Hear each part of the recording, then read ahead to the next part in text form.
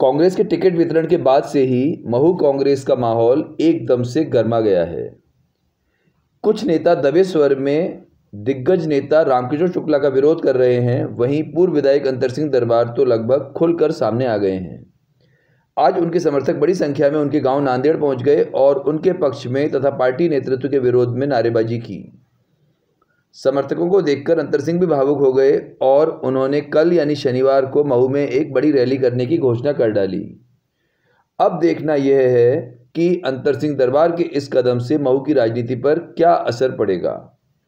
आइए सुनते हैं क्या हुई बातचीत समर्थकों और उनके बीच में।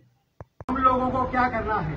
और ये निर्णय आप और हम कल रैली के बाद जो आपका आदेश होगा, पब्लिक का जो आदेश होगा, जनता का जो आदेश होगा, जो अभी तक मुझे करते आए हैं, उस आदेश का मैं अक्षरशः पालन करूँगा।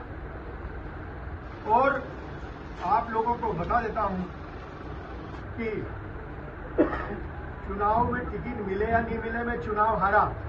परंतु फिर भी जो हमारे, खास करके गरीब लोग हैं, हमारे आदिवासी भाई हैं और अल्पसंख्यक भाई हैं।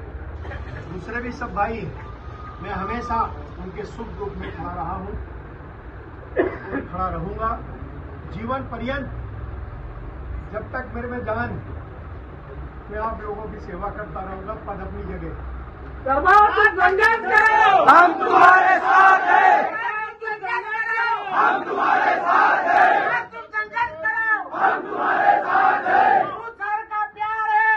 ってください